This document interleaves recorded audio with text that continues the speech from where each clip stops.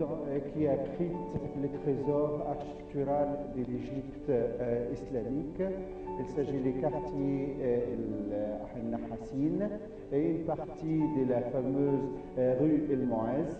Nous avons un sabil, une fontaine construite par Mohamed Ali 1828 avant d'être transformée en musée des textiles.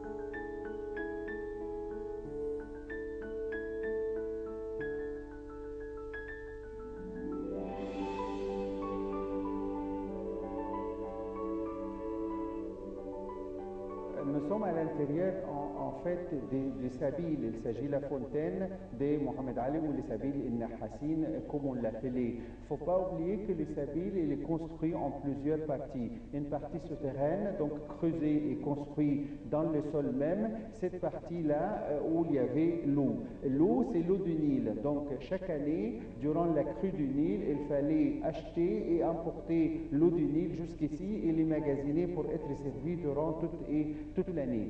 Donc la deuxième partie des sabiles ou de la, et de la fontaine, et souvent c'est la salle où il y avait la possibilité de bomber ou de, chercher l'eau de, de- la citerne ou il faire euh, descendre sur des, euh, espèces de, surface en, albâtre pour rendre l'eau euh, fraîche en été. Donc, après ça, il fallait ramener l'eau du Nil vers les petits bassins juste à côté, les fenêtres. Donc, de l'extérieur, on peut quand même euh, euh, être servi à partir des fenêtres de l'extérieur.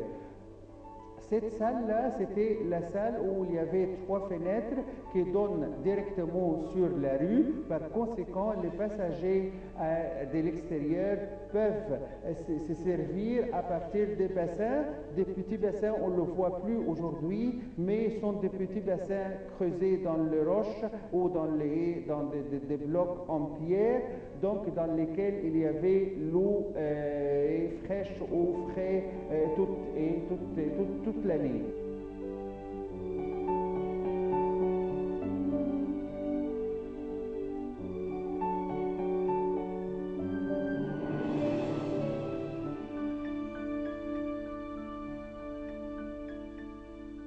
7e siècle, plus exactement en 641, une armée d'Amr ibn al-As, donc c'était le général Amr ibn al-As ou le lieutenant, euh, lieutenant Amr ibn al-As, le chef de l'armée arabe ou l'armée musulmane, qui a euh, réussi d'ouvrir euh, euh, l'Égypte.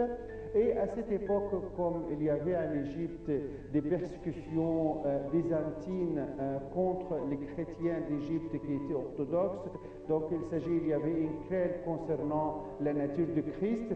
C'est la raison pour laquelle peut-être les Égyptiens n'ont pas euh, résisté à, l'ouverture euh, de l'Égypte par l'armée musulmane d'Amr ibn. Donc, rapidement, au cours du, de, la fin, du 7e siècle, les Égyptiens même, ou les chrétiens d'Égypte et les autres commencent à convertir et à l'islam.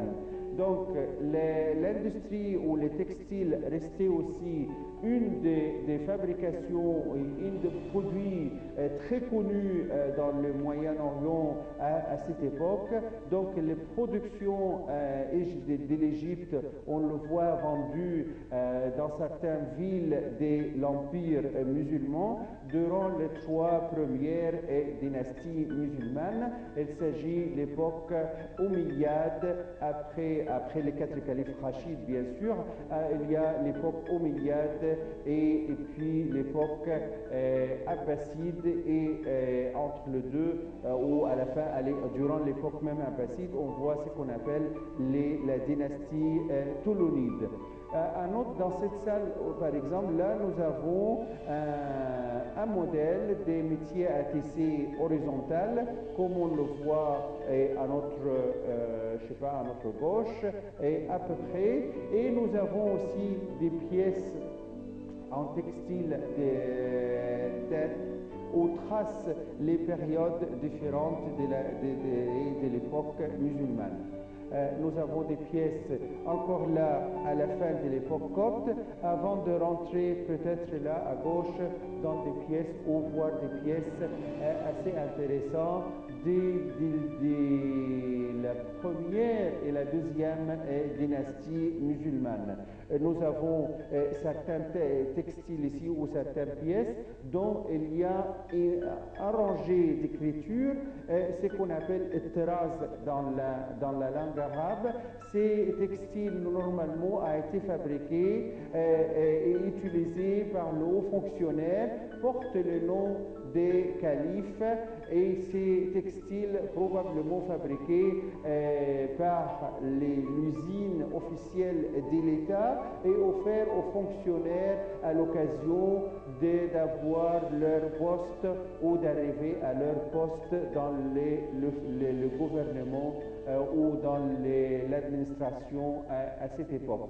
Donc, on peut quand même même distinguer euh, l'écriture musulmane ou l'écriture de la langue arabe, les styles au début ou le, le, le premier euh, style utilisé pour l'écriture, c'était l'écriture kofite, avant d'avoir ce qu'on appelle l'écriture nasque et comme peut-être là on le voit un peu plus tard.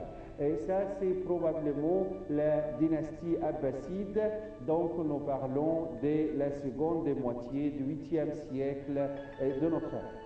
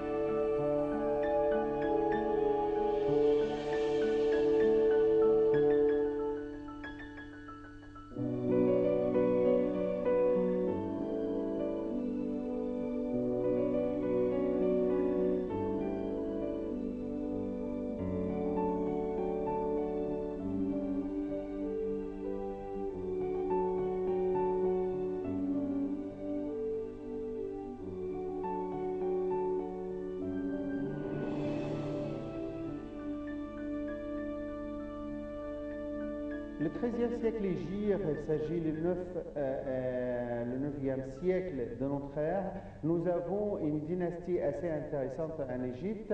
Il s'agit de la dynastie Toulonide fondée par les, euh, chefs de l'armée toulonide qui a réussi d'avoir une sorte d'indépendance pour l'Égypte et, il a exploité la richesse du pays, la raison pour laquelle l'Égypte à cette époque a été quand même une province de l'Empire, c'est vrai, musulman abbasside, mais il était un peu indépendant et il y avait une richesse, donc avec une nouvelle capitale, El Qata'a, avec sa mosquée qui, se trouve encore, qui reste encore là intacte, il s'agit de la mosquée d'Ahmed ibn Touloun. Donc la richesse du pays à cette époque, on le voit aussi traduit dans l'industrie, notamment les textiles. Euh, nous avons dans les vitrines à droite et à gauche aussi euh, un reflet euh, ou des traces de, la richesse. Par exemple, là, on voit des textes bien, bien ornés avec des images et des animaux et à droite et à gauche et des animaux même utilisés et souvent peut-être bien pour les textiles qui couvrent soit les, les, tables ou les... Il s'agit de draps ou peut-être aussi il y a des textiles assez quand même assez fins utilisés pour la fabrication des vêtements comme on peut voir au début et de la vitrine.